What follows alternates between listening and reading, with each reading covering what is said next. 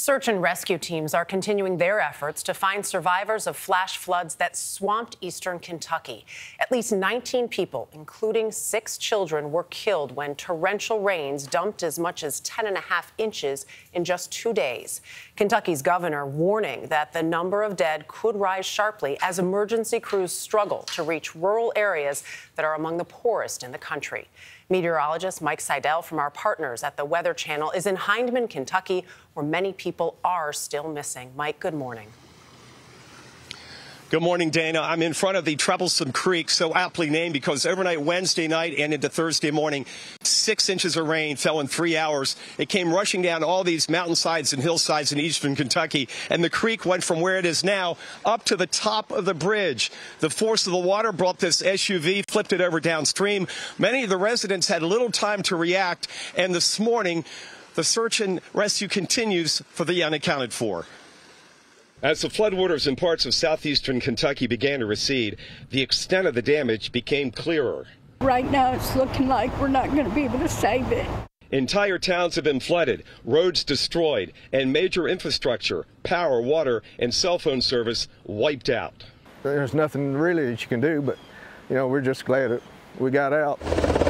Crews have already rescued nearly 300 people, and many more are still unaccounted for. Governor Andy Beshear toured the region by helicopter and later warned the death toll will go up. From everything we've seen, uh, we may be updating um, the count of how many we lost for the next several weeks. Floodwaters triggered by torrential rain surged through the small town of Hindman, inundating the elementary school and leaving it under a thick crust of mud. Classes were to begin in less than two weeks, but not anymore. The school is, is kind of the heart where everybody comes together, and so that's it, it's hard. Kentucky is just one of several states left reeling from severe flooding. Monsoonal rains washed through parts of Nevada, soaking unlucky gamblers on the Las Vegas Strip. Scientists say climate change amplifies these storms and the damage they leave behind. In Kentucky, recovery will be slow. We're going to grieve with you. We're going to support you, and we're going to be here for you, not just today, but tomorrow and in the weeks and the and the years to come. Right now, there's still nearly 20,000 customers in Kentucky without power. Combine that with the flash flooding, and some water systems are still not up and running. So the governor has rushed plenty of drinking water to those affected areas. The best news of all in several days is.